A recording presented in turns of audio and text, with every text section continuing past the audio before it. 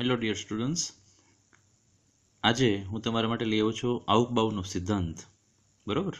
હવે આઉકબાઉના સિદ્ધાંતમાં કેવું છે કે પરમાણુમાં ઇલેક્ટ્રોન હંમેશા નીચા ઊર્જા સ્તરમાં જ ગોઠવાય છે. નીચા ઊર્જા સ્તરમાં ઇલેક્ટ્રોન સંપૂર્ણ ભરાયા બાદ જ ઇલેક્ટ્રોન ઊંચા ઊર્જા સ્તરમાં દાખલ થાય છે. બરાબર? આ આઉકબાઉનો એકદમ સરળ સિદ્ધાંત છે ઇલેક્ટ્રોન રચના માટેનો. બરાબર છે? હવે એમાં એવું બને છે કે પરમાણુમાં ઇલેક્ટ્રોન એક ઇલેક્ટ્રોન પણ હોય. તો એક ઇલેક્ટ્રોન ધરાવતી સ્પીસીઝ માટે hydrogen, helium plus lithium plus two માટે રાઈટ અને બીજું હોય છે એક કરતાં વધુ ઇલેક્ટ્રોન ધરાવતી સ્પીસીઝ બરાબર? એના માટે. તો સૌથી પહેલાં ફ્રેન્ડ્સ એક ઇલેક્ટ્રોન ધરાવતી સ્પીસીઝ માટે હું ટ્રેક આપી દઉં. એક ઇલેક્ટ્રોન ધરાવતી સ્પીસીઝમાં આપણે આ રીતે આખે આખો એક ચાર્ટ વિચારવાનો, જેમાં વન એસ એસ કક્ષક આપવાની આપણે એકથી આઠ સુધી પી કક્ષક આપવાની બેથી સાત સુધી, ડી કક્ષક આપવાની ત્રણથી છ સુધી અને એફ કક્ષક આપવાની ફોર અને ફાઇવ રેડી હવે વન એસ. સૌથી પહેલાં ઇલેક્ટ્રોન વન એસમાં હોય. હવે ઈ ઇલેક્ટ્રોન ઉત્તેજિત થઈ, આપણી પાસે એક જ ઇલેક્ટ્રોન છે રાઈટ તો આ ઇલેક્ટ્રોન ઉત્તેજિત થઈ અને ઊંચા ઊર્જા સ્તરમાં જાય, તો ટુ એસ અને ટુ પીની એનર્જી એના માટે ઇક્વલ લઈ લેવાની. તો one S less than two S is equal to two P. પછી less than three S is equal to three P is equal to three three D less than four S is equal to four P is equal to four D is equal to four F અને આ રીતે આગળ આગળ આગળ less than at S આવશે. Right friends તો આ એક સામાન્ય ક્રમ છે એક ઇલેક્ટ્રોનવાળી સ્પીસીઝ માટે. એનાથી આગળ ફ્રેન્ડ્સ આ બહુ જૂનું ને જાણીતું, આ તમને ખબર જ છે. એક કરતાં વધુ ઇલેક્ટ્રોન ધરાવતી સ્પીસીઝ હોય, તો એના માટે ઇલેક્ટ્રોન સૌથી પહેલાં વન એસમાં દાખલ કરવાનો. ત્યારબાદ ટુ એસમાં. ત્યારબાદ ટુ પી, પછી થ્રી એસમાં. રેડી ઉપરનો જે આપણે આ ક્રમ જોયો સેમ એવો જ ક્રમ અહીંયા આપણને આપેલો છે.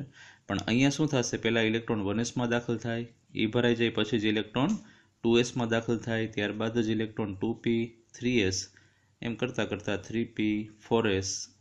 Three D, four P five S. પછી four D five P, six S. ત્યારબાદ four F five D, six P, seven S. અને એના પછી five F six D seven P eight S તમે જોઈ શકશો કે આ તીર છે ને એ અહીંયા પહેલાં બે તીર એક એક કક્ષકમાંથી પસાર કર્યા. પછીના બે તીર બે બે કક્ષકમાંથી પસાર કર્યા છે. પછીનું તીર ત્રણ ત્રણ કક્ષકમાંથી, ત્યારબાદનું તીર ચાર ચાર કક્ષકમાંથી પસાર થયું છે. એટલે આનો કોડ નંબર યાદ રાખવો હોય તો રાખી શકાય કે અગિયાર, બાવીસ, તેત્રીસ, ચુમ્માલીસ.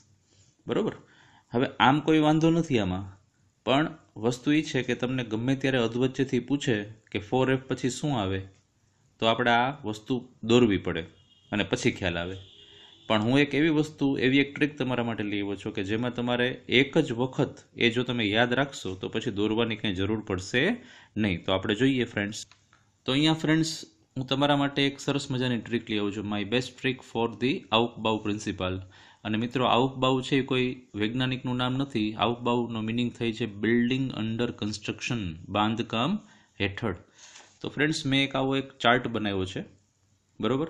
આ એક હવે આખો એક જે ટ્રાયંગલ બનાવ્યો છે, એમાં તમારે આવી રીતે બોક્સ કરી લેવાના. અહીંયા one, two two, three three, four four five લખી લેવાનું. પહેલાં બે નંબર માટે એસ, પછીના બે નંબર માટે પી, પછીના બે નંબર માટે ડી, એના પછીના બે નંબર માટે તમારે એફ લખી નાખવાનું. અને ત્યારબાદ અહીંયા એફ ડી પી એસ આવો એક રિવર્સ ઓર્ડર લખવાનો છે. આપણે જનરલી એસપીડીએફ લખતા હોય ને અહીંયા આપણે એફડીપીએસ લખવાનું રાઈટ તો હવે તમે જોશો કે આગળનો ક્રમ હતો ને એની જેમ જ થશે. તો આ એક ગેમ જેવું છે એવું આપણે સમજીએ. અહીંયા એક રૂલ છે કે એસ અહીંથી સ્ટાર્ટ કરવાનું. અને જો એસ આવે એટલે એ પૂરું થઈ ગયું બ્લોક થઈ ગયું. ત્યાંથી પાછું ફરીથી નવે નવા નંબર ઉપર જવાનું આપણે. જેમ કે વન એસ એટલે ફિનિશ હવે જવાનું આપણે નવા નંબર ઉપર ટુ એસ તો ફિનિશ થઈ ગયું. હવે અહીંયા આપણે પહોંચવાનું. ટુ પી હવે ટુ પી જેવું આવે ને, ટૂંકમાં એસ સિવાયની જો કોઈ પણ કક્ષક આવે ને, તો આપણે સીધું આ ફાઇનલ બોક્સમાં જતું રહેવાનું. તો ટુ પી છે, તો અહીંયા ટુ પી બે પછી ત્રણ આવે, તો થ્રી એસ તો ટુ પી પછી થ્રી એસ લઈ લેવાનું. ત્યારબાદ થ્રી પી આવશે. આપણે અગાઉ જ વાત કરી કે એસ આવે એટલે પૂરું નવો નંબર લઈ લેવાનો. તો થ્રી પી તો થ્રી પી પછી ત્રણ પછી કેટલા આવે? ચાર. તો three P four S ready હવે નવો આપણે બોક્સમાં જઈએ તો થ્રી ડી તો three D four P five S એવી જ રીતે ફોર ડી તો ફોર ડી ફાઇવ પી અને સિક્સ એસ સેમ એવી રીતે આગળ જવાનું. તો કે ફોર એફ તો કે ચાર, પાંચ, છ સાત, four F five D, six P, seven S અને ત્યારબાદ ફાઇવ એફ તો five F six D, seven P, eight S. ચાર, પાંચ, છ, સાત. પાંચ, છ, સાત, આઠ. એવી રીતે ક્રમ આગળ આગળ વધારતો જવાનો, બરાબર? તો ઓવરઓલ હું એક વખત તમારી સામે પ્રેક્ટિસ કરી દઉં, જો. વન એસ, ટુ એસ, પછી two P. Two P, three S, પછી three P. Three P, four S.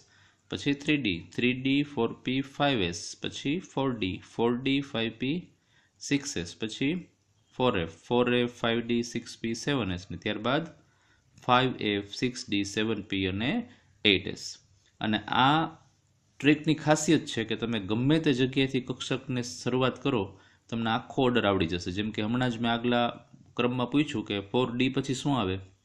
તો આપણે દોરવું પડે. એની બદલે અહીંયા ફોર ડી પછી બહુ સહેલું. Four five six, four D five P, six, S. તો ફ્રેન્ડ્સ, તમે પણ આ રીતે આખો એક ટ્રાયંગલ બનાવી અને આખો એક ક્રમ આપવાનો પ્રયાસ કરજો. Thank you